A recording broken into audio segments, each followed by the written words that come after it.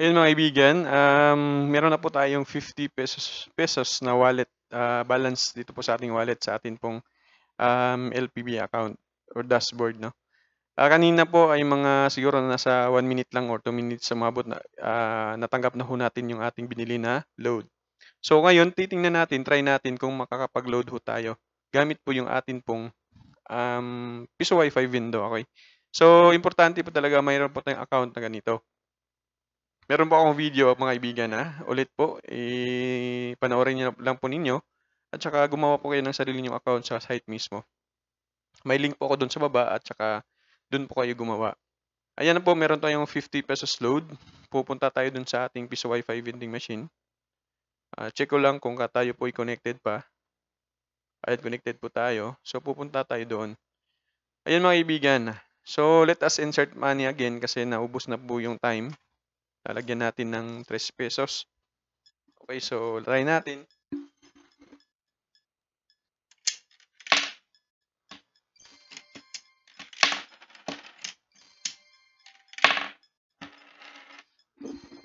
Yan, 7 pesos po yung pumasok kasi 5 po yung isa. Okay, so done paying.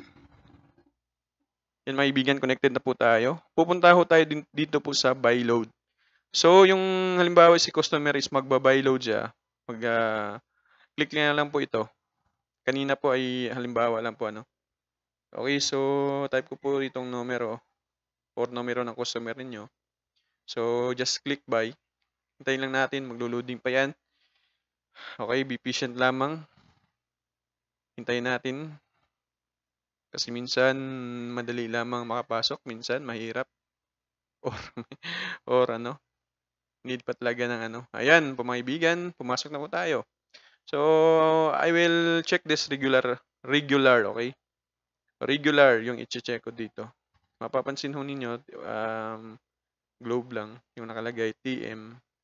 Doon kasi sa ano, ano, admin panel, meron po doon ano, uh, pwede po yung lagyan ng ano, ng smart, TNT at saka sun. Pero ngayon, isang available ko is yung globe. Okay, so I will check this ano product code number or 10 pesos. Regular load click lang po yan. So pay now. So ang mababayaran ko po is 13 pesos. Okay so kukuha muna ako ng 13 pesos. Dito ayan. So maghuhulog po tayo dyan ng 13 pesos. So pay now. Click lang po natin yung pay now mga kaibigan. At tapos is um, maghuhulog ho tayo ng 13 pesos So, maghulog ho tayo.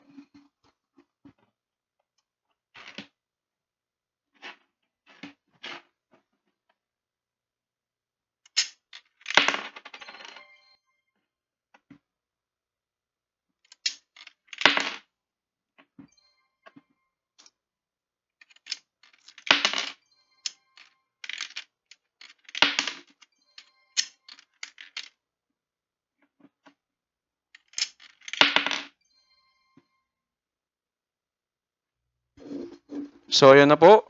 Insert bills coins is 13 pesos na po. So, done paying. Click lang po natin itong done paying. So, hintay lang po tayo saglit. At saka titingnan natin yung cellphone natin kung uh, marireceive ho natin yung ating binili. So, be patient lang po, malaman po mga buyers. Ganito po talaga yung mayroong i-loading. Ayan, success. Load has been now processed. Please wait the confirmation. So, maghihintay lang ho tayo mga ibigan ha. Ayan po, na-receive ko na po yung aking 10 pesos load. Wow, yan, galing po ng ano, ng with e-loading na system po na ito. Na-receive ko na po regular load yung aking pong natanggap at i-check natin yung atin pong uh, balance doon po sa ating LPB accounts, doon po sa site mismo. Check mo natin kung nabawasan ba. Okay, refresh po natin mga ibigan, 50 pesos po yan. Ayan, naging 40.3 na lamang po. So, ibig sabihin, nakuha na po yung 10. So, mayroon tayong ginansya na 3 pesos. Okay, okay na po yan. Di ba po? So, hindi po, ulit ah, hindi po kayo makapag-load kung wala po kayong balance sa inyong pong sariling account dun po sa site. So, balik po tayo dun sa uh, window natin. Ayan mga ibigan. So, makikita po ninyo ay napakaganda po ng sistema, no?